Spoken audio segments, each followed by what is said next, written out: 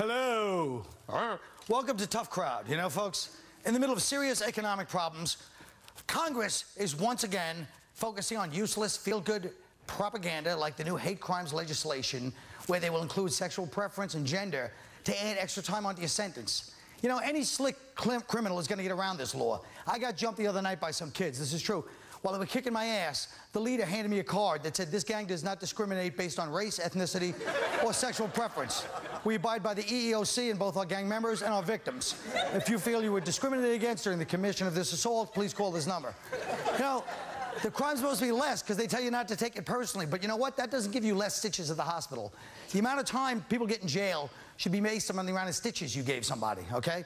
Every five stitches, another two years. How is this not a thought crime?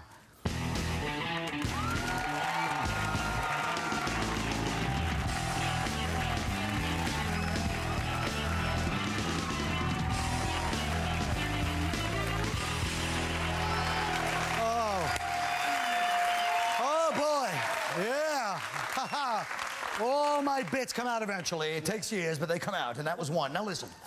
Uh, Jimmy, by the way, I know you're part German. Have any of this uh, Danish or whatever? I know yeah, you guys like that kind fat of. too, you, so you like, like that, that kind of breakfast treats in the Germanic community. I like you guys that you are mix tomatoes in there. That's it. yeah, I don't know. That normally goes together. I didn't Tomatoes notice and that. cookies. Delicious. May- I don't know what that was. Maybe symbolic of I don't know your half Italian heritage. I am, yeah, sure. Well, folks, let me tell you something. There are no hate crimes. There are no like crimes. Everything's a hate crime. Would you, I'd rather be beaten up because I was white than be murdered by somebody who was my race just because it was a random act. Yes. So the point is, can you measure or uh, prove feelings? Greg. Uh, I, I'm torn on this because, on the one hand, there is an Orwellian thought crime element to all this uh, hate crime legislation. On the other hand, I have no problem with hate crime laws if they're used mostly to prosecute black people. Todd, I get the feeling you'd like to respond to that. Yeah, that, that's why we always whooping white people's ass. That right there. You know, I mean, I, I really want to whoop Greg's ass right now. I really- believe you. Yeah, I do. I mean, I, That, that, is, uh, that is the case with these laws. There's like misperceptions of what the hate crime laws are. But Yeah. They're, they're neutral, and that's why I was sort of kidding about the prosecuting mostly I'm not- black don't people. back But the down to point- now. I'm not even- no, no, but the I'm not point- But the point is that, that they apply equally. So it doesn't say, it doesn't create protected classes. It says if you choose your victim based on their sexual orientation or their race, uh, you know, that you get extra penalties. So it, Yeah. it applies across the You board. know what, Todd? But- Before- go ahead. But so that you can potentially be charged for two crimes. If you're so Right. if you so actually if you mug someone, they could call it a hate crime. And really, actually, to avoid that, what you should do probably is announce what your intentions are before you mug someone and say, I'm not mugging you because of your color or your gender or your sexual orientation. you you get mugged because you're in Wait a the minute, wrong damn place at the wrong time. Two things. One, did you just steal my monologue? What were you doing? you stole my We monologue. weren't paying attention, Tom. You were not paying Snacks. attention to me. Yeah. That's exactly almost to the word what I said in my monologue. No, nobody gets a crime. You're kidding me. Sounded just as I good the second time. It sounds better Wait, when you I say I can't hear you. No, I couldn't hear you. Why not? You Because you're hear me? Irish and everything sounds Well, like you start like I'm speaking another language. You hear it? It's all And Todd, like let me tell you something else before you Oh, start lip. Greg, I can't believe you're going to let him get away with that. Right, you certainly that weren't out. backing that when it was Denis Leary. Now tell this son of a No, I'm just kidding. I don't want uh, to start a fight. Listen, guys.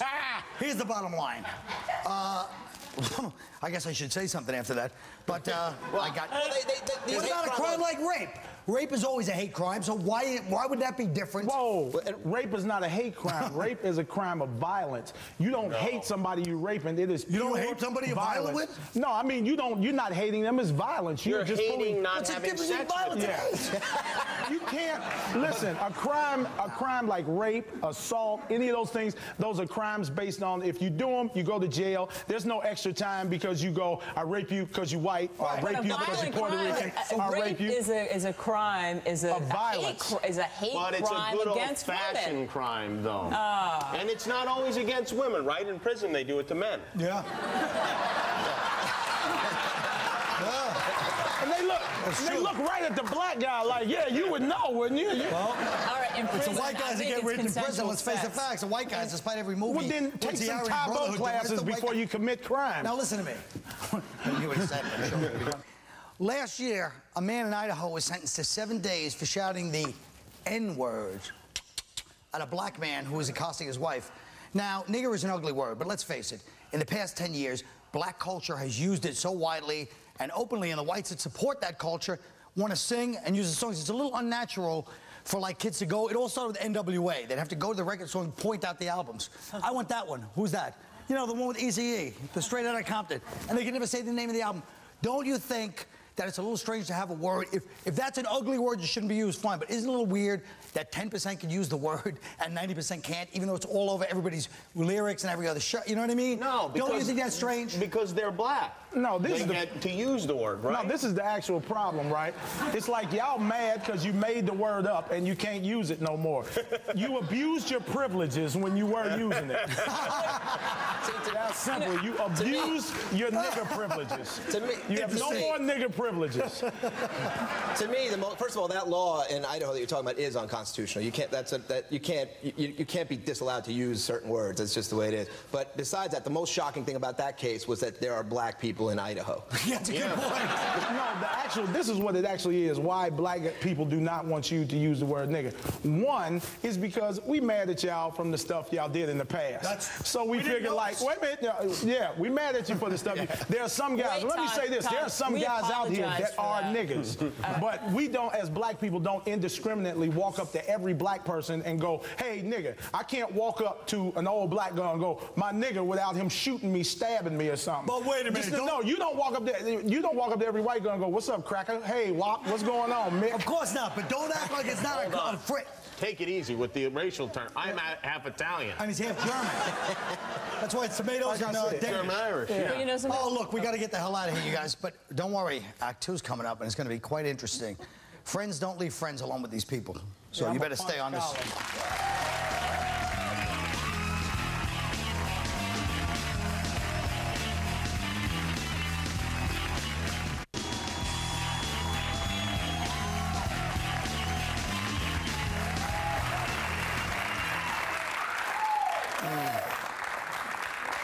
States have adopted anti-bullying policies in an effort to teach kids to how to confront gossiping, ridicule, etc. You know, four eyes, fatty, ugly, smelly, right? Now, what is the downside of this? First of all, less ass in the world. They're teaching kids to open up to the bullies and try and let them know how it feels. Of course, it's not the uh, schoolyard pushdowns anymore. It's, you know, sexual assaults by 12-year-olds and, like, stabbings in the stairwell. You know, kids like, you know, when you emptied your clip into my science class, I felt unsafe. so, uh, the question is, is this bad or good? Isn't school supposed to be where we learn how to take a, a little abuse? Jimmy? I, I think it is. Yeah. I mean, I, when I was in uh, junior high school, there was a kid named Darren. And uh, what he would do, he's one of those Rican? kids. No, no, no. He's Italian. He was he was bigger than the than the rest of us, and he was one of those kids who was comfortable being naked. In uh, you know, and when you're just hoping to get a hair or two, and what he'd do in the locker room is you'd be sitting there by your locker. Is it okay if I stand? And he'd put his leg up here, and you're looking that way, like Todd, you're looking Could that you way. not put your- And then that's what, this is a valuable lesson to be taught. And then he would call your name with his penis in his hand, and you turn around, and you get a face full of Darren penis. But I did learn a valuable lesson from that. I learned not to be impulsive, and I learned that um, penises can sometimes be salty as well. Could you, could you put your balls on Greg we don't the next touch time you do this? Yes, yes. I'll leave them in the green room. Now, I, you know what, Colin? Actually, I think there's a lot of kids too. We got they raising their kids kind of soft now. Kids, you know, they're getting raised by TV. They don't go outside. They don't play kickball no more. They don't play baseball. They don't play dodgeball. You got all these little fat kids running around eating Jolly Ranchers and ho-hos all day. You know, sugar higher than a you know a 40-year-old diabetic. And then they sit up and and when they go outside, kids tease them and they can't fight. They can't run. They can't you know. Get your kids active. Active kids That's actually human evolution, though, because uh, now we don't really need, you know, you see kids, they really don't run, they don't do anything, they just sit all day behind a computer. You know, Yeah. we're evolving, we're just becoming, eventually we're just going to be a giant ass with fingers. But I think I think I think fat kids, uh, fat kids should be teased so they don't grow up with a false sense of confidence. But don't you realize, to, God forbid I get serious, but like not only the trench coat mafia, but that kid in, in Thomas Jefferson High School in Bed-Stuy, the reason he pulled out a gun was because he was getting bullied by a serious, hard-ass kid. So I mean, a lot of these shootings are kids that are getting bullied, and they're like, you know, they're just gonna go grab a gun and do it. You know what I mean? They're not thug kids that are pulling out these But guns. you know who the crazy kids are in your school. There's no, you know, you know the one that'll go, you know what, that one. Yeah, the one who, like in Yeah. fourth grade, had to go take a pill at a certain time Yeah. every day.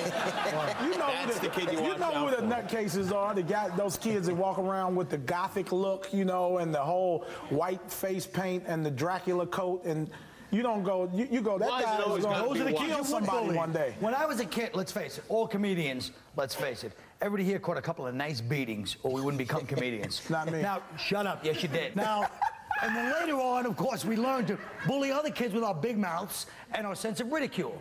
Now, that may sound harsh, but sorry, not, and this poor man was, gentleman was raped by Joe oh, or whatever the hell his name is. Frankie- No, and Joe then- was fine. Frankie I was- And then, I he, wasn't- I wasn't, and then he in turn described the rape vividly to me. You- yeah, by that was putting almost his- a- yeah. by putting his scrotum on my shoulder. It was almost a Now everybody on TV going, yeah, yeah, I I, saw he- you when the guy put his balls on your neck. That's a good We're a celebrity couple. But I think it was Yeah, almost a purification ritual for him, where he got finally cleared Yeah, himself. finally I was able to take It was like a my TV movie on experience Lifetime. and thrust it onto you. And now you've got to do it. You've got to do the same. You can do You know what? somebody Let in me the put my audience. balls Oh, on Grant. gee, that's right. Keep going. Yeah. And let's make this even. All right, listen to this. the black man's balls. That's all, I need is, that's all I need is to have Cro-Magnon man rest his balls on my shoulder. Listen to me. Now, what about these online things where they're caught? They're they're spreading rumors, true or false, about the other kids. This one's a slut. This one slept with this one. This teacher's ugly. This is online bullying. What do you think about oh, that? Look, the reality I, people, it's cowardly. That's a No, lot of I, horse. I, I do think that's cowardly, and I think you know, from I grew up in a, a simpler time when arguments were settled with fists, and also love was made that way with fists. but She's from upstate New York. That's what it is. I, I also think it's just it is. It's, I feel like it's weak because like what would you you know like what are teenagers threatening each other with, like you know.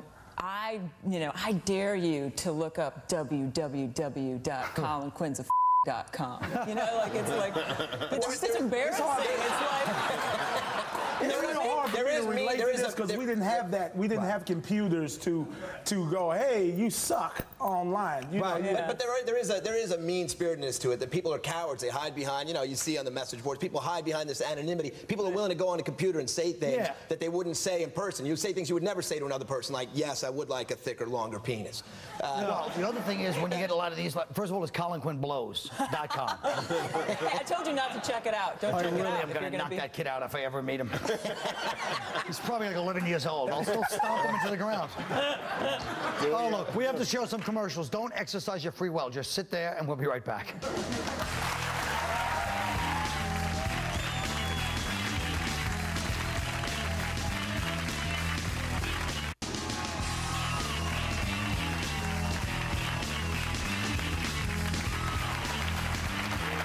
You know, folks, Colin Powell, as I call him, spent the weekend in Israel trying to figure out how to open the roadmap to peace without it blowing out the car window. He had brunch with the prime ministers of Palestine and Israel, and CNN is reporting that when the bill came, Sharon did the fake reach for the wallet.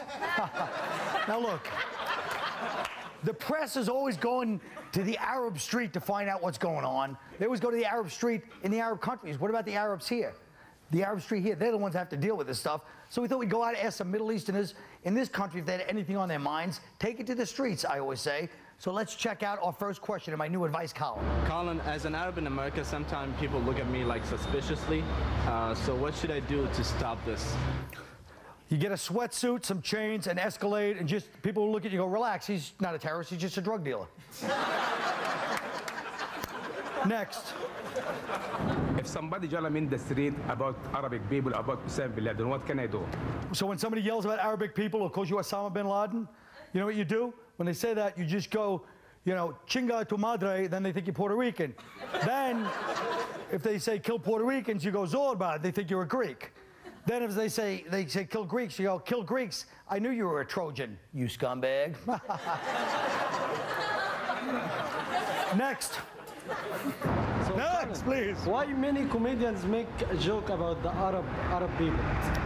The comedians make jokes about Arab people. It means you're accepted as part of the country. Uh, you know, it's it's when they don't joke about you. When they don't joke about you, you gotta worry. Okay? Nobody ever made Indian jokes in the 1870s. Look what happened to them. Next. Colin, it's hard to meet women uh, So how can I tell them that I'm a nice guy, not a terrorist? Your first mistake is thinking women want a nice guy. they want a bad boy. They want a bad boy. They don't necessarily want a terrorist, but they, it's like a mafia. They don't like the mafia guy, but they want you to be connected. So, like, you bring your girl over to your house, throw out the old uh, playing cards with all the people, and just go, oh, two o'clock, my cousin's crazy. You never learn. you know, something like that. Next.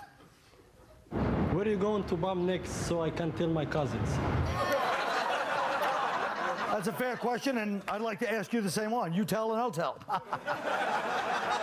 Next. Colin, why everybody here you love Israel? Or maybe everybody support to Israel? Can you give me an answer? He says, why does everybody here love Israel? Why do you support Israel? Well, it doesn't matter. The point is, we've been, you ever, it's like you guys are the Palestinians. You're in a relationship for so long that now if you leave when things are going tough, you look bad. You know what I'm saying? Next. Colin, how can I hook up with a girl when they think Islam is oppressive to women? How do you hook up with a girl when, you, when they think Islam is oppressive to women? Here's what you do. You get the Quran, you know, you bring her over, you start reading it, and then you show her segments that you put in there, like an E. Cummings poem or Jeff Buckley lyrics, you know. Maybe uh, John Mayer, you know. I mean, Body is Wonderland. They, they're going to think that's from the old days because nobody had the balls to write that after 1950, but apparently. Or you could go for like the political girls that want to like be bad and piss off dad. They want to get involved with somebody from the Middle East, you know. You tell them some sob story about how corporations, when you were a kid, you knew it because Dick Cheney pulled up to your village and in Delta 88 Lincoln, you know, and you know, he, he slapped the village elders around. Next thing you know, you had the only mosque in the village with a Cinnabon on the side. You know, I don't know. You had a Chili's in there, you know, the Baby Macs. This is what I'm talking about. Now, see, folks, that's how it's done. You take a problem, you air it out. And remember something it takes an entire village or a settlement or an occupied territory to raise a child. You know what I mean. We'll be right back.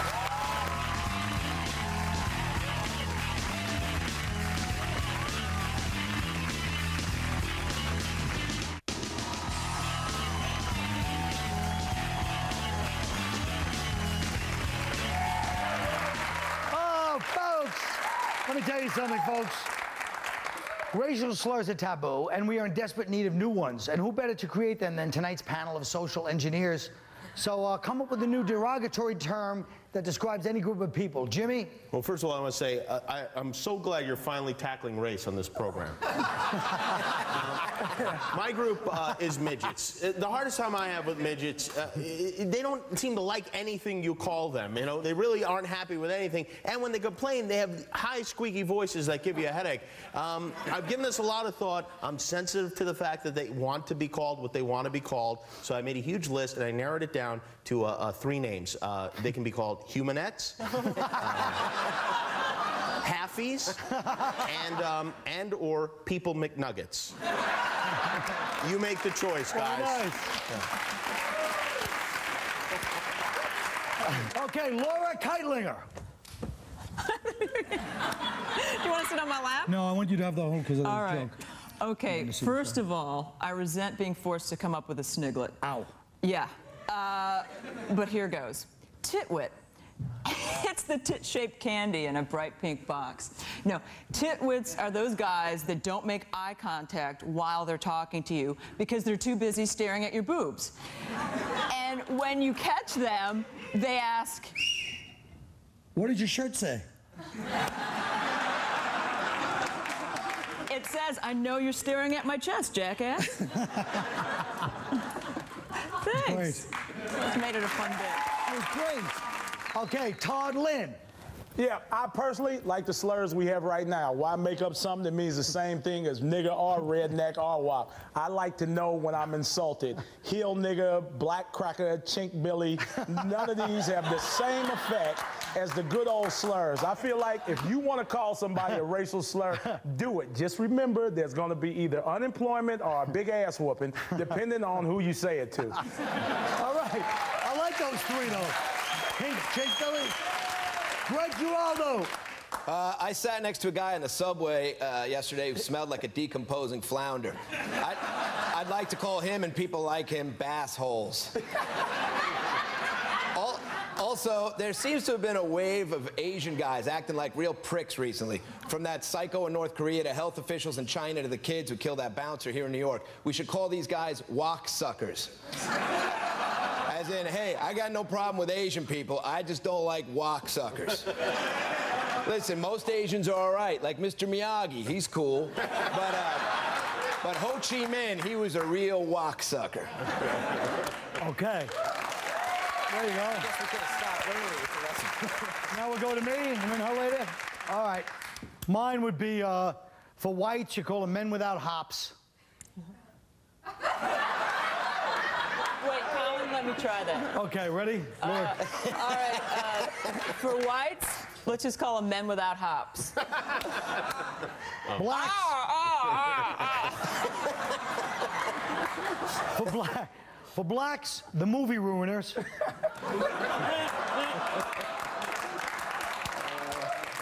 Lati- Latinos, Generation Mex.